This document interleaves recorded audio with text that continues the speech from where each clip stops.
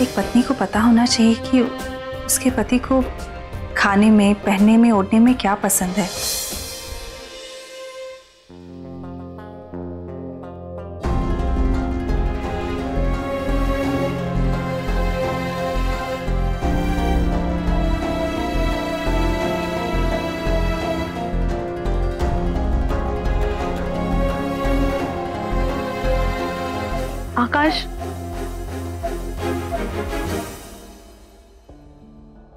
पूनम जी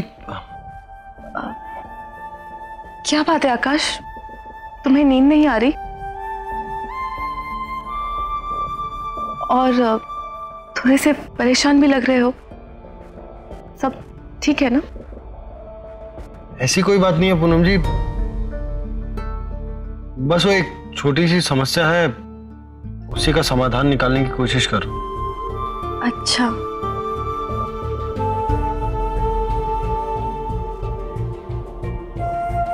हम कुछ मदद कर सकते हैं?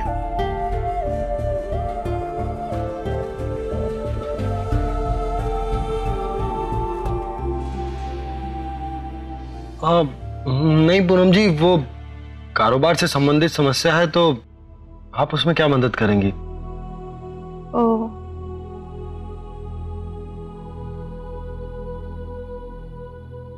आकाश हम तुम्हारे लिए एक और कप कॉफ़ी लेकर आए? नहीं नहीं पूनम जी आप रहने दीजिए। आप थक गई होंगी सो जाइए।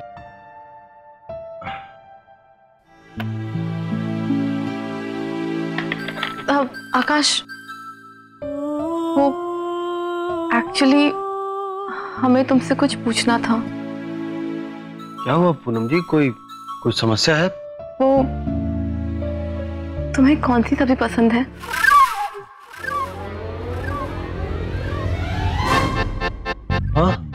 अब तुम्हें सब्ज़ी में क्या पसंद है?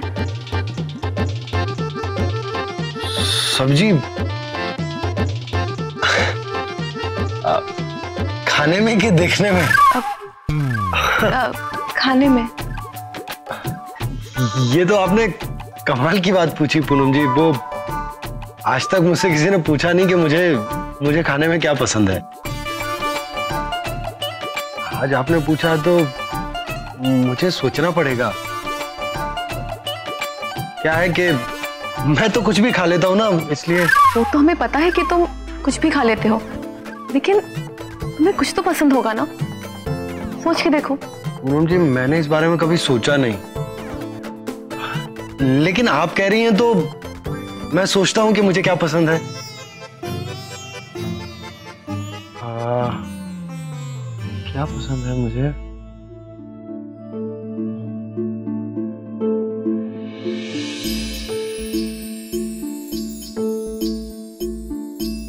हाँ पूनम जी?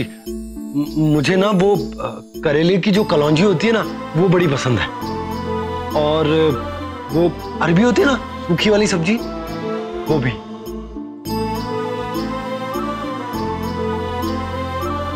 छोड़िए ना पूनम जी, आप भी कहा ये खाने पीने की बातों में उलझ गई हैं। आप आप जाइए, सो जाइए, मुझे भी जल्दी उठना है। वो लखनऊ जाना है ना, घर देखने के लिए? हाँ आकाश जितनी जल्दी हमें घर मिल जाए उतना ही अच्छा होगा।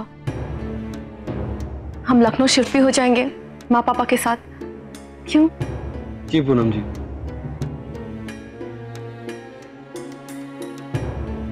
आप शुभ रात्रि।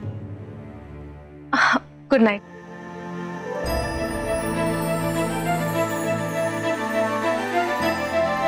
करेला अरबी हमें ये सब बनाना सीखना होगा। जब हम अकेले लखनऊ में रहेंगे तो हमें ही आकाश के खाने पीने का ध्यान भी रखना होगा।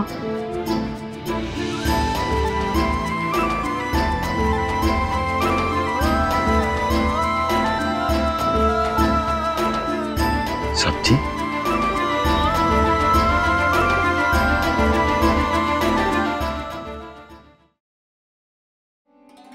क्या बात है कन्नू डार्लिंग। बहुत खुश लग रही हो। बात ही कुछ ऐसी है। आपने वो कहावत तो सुनी होगी। हाथी के दांत दिखाने के और खाने के और। हम्म वो हाथी वाली कहावत तो सुनी है लेकिन बात क्या है?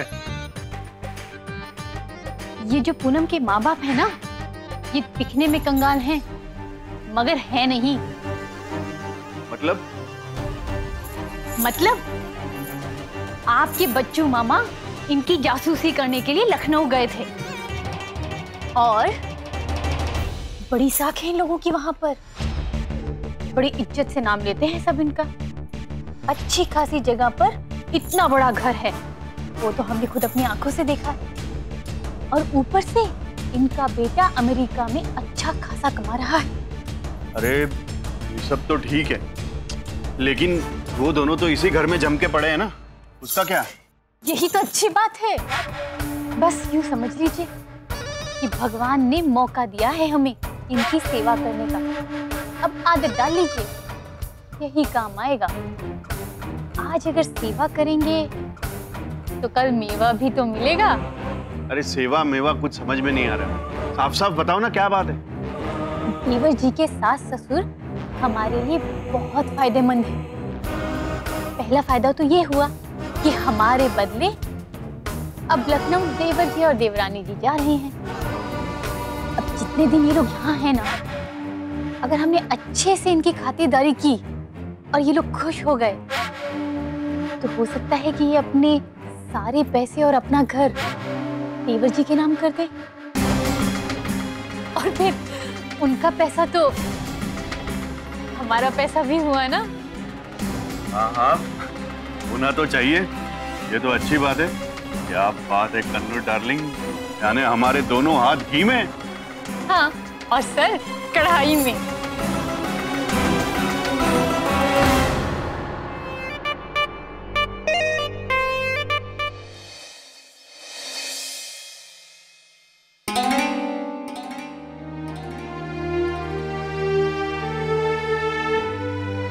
क्या हुआ चाची जी? कुछ चाहिए? मुझे बोलिए ना। कुछ नहीं बेटा एक गिलास पानी चाहिए था इनके लिए। मैं लेकर आती हूँ। अरे नहीं बेटा आप क्यों कष्ट करेंगे? हम ले आते हैं। इसमें कष्ट की क्या बात है? मैं भी तो आपकी बेटी की जैसी ही हूँ हम्म? आप चाचा जी के पास बैठिए, मैं अभी पानी लेकर आती हूँ।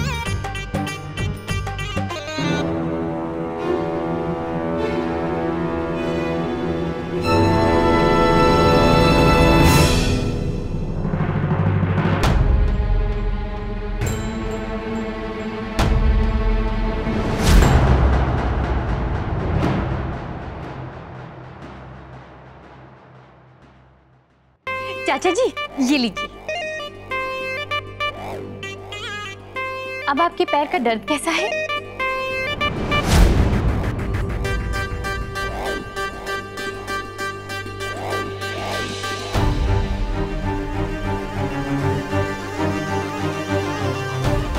चाचा जी, आप दवाई ना समय पर लेते रहिएगा। और हाँ खाने पीने का भी ध्यान रखिए। आप कितने कमज़ोर हो गए पहले से। ये अचानक कन्नू भाभी को हो क्या क्या है? माँ और बाबूजी का इतना ख्याल रख रही हैं? चाची जी आप चाचा जी को बादाम का हलवा बनाकर खिलाइए। कहिए तो मैं बना दिया करूँगी। और किसी चीज़ की ज़रूरत हो तो मुझे बताइएगा।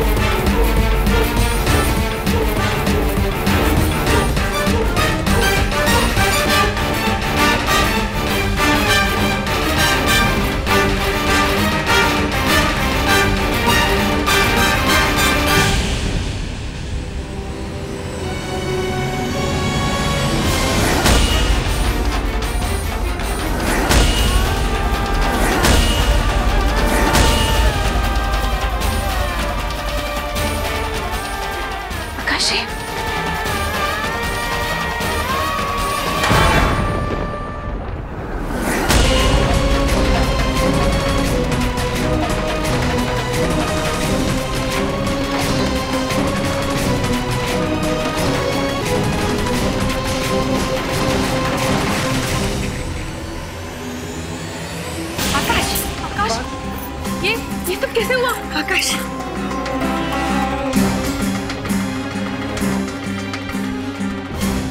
आयसा ये ये कैसे हुआ बेटा आकाश तुम तो एजेंट से मिलने गए थे ना फिर ये सब कैसे हुआ आहिस्ता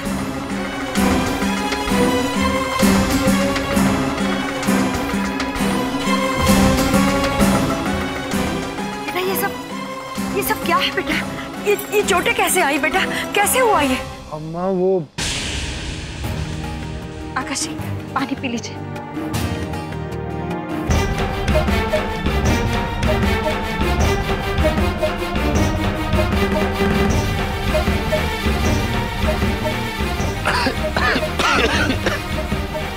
वो एजेंट के साथ मकान देखने गया था ना? रास्ता बड़ा खराब था। तो मेरी मोटरसाइकिल फिसल गई और मैं गिर गया।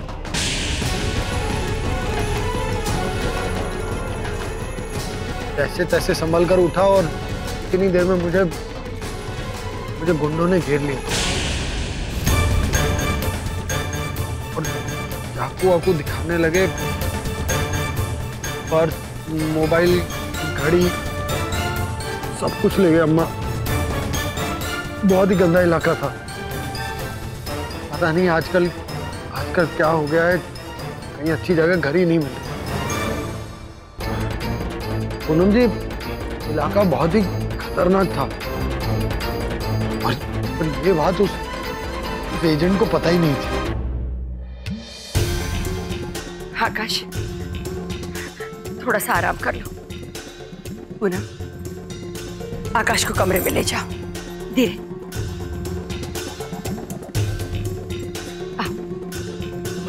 संभल कर।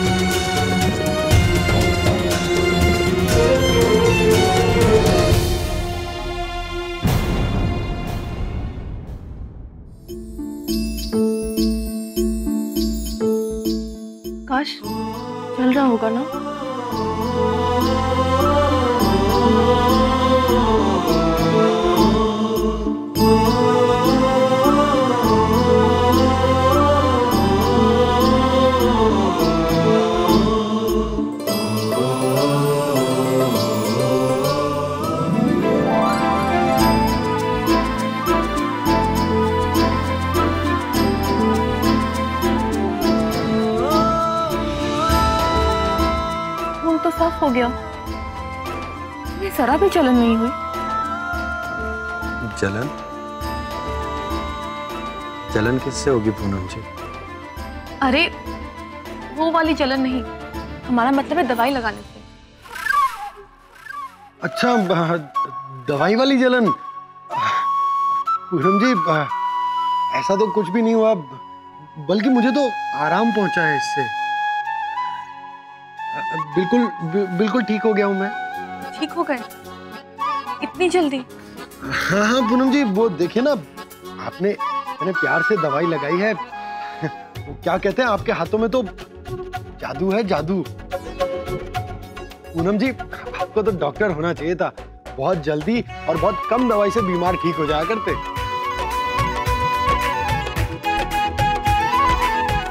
खून साफ़ हो गया लेकिन हमें अब पूनम जी रहने दीजिए बस हो गया। अभी भी है उन एक मिनट।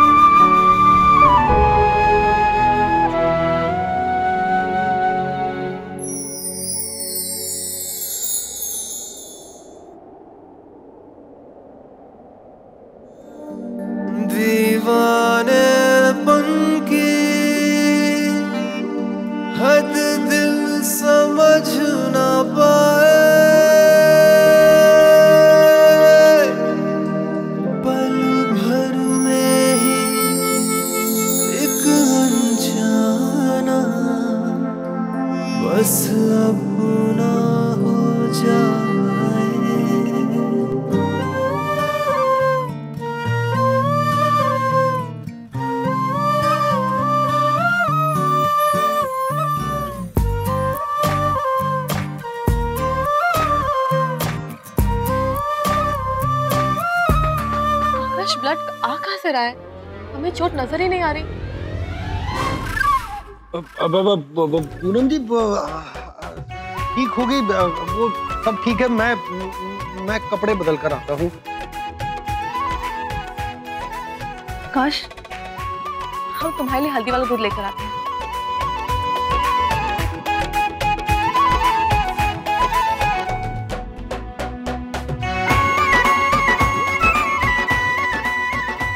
चलो अच्छा हुआ सबको इस नाटक पर विश्वास हो गया। इसी बहाने लखनऊ जाना कुछ दिन के लिए टल गया।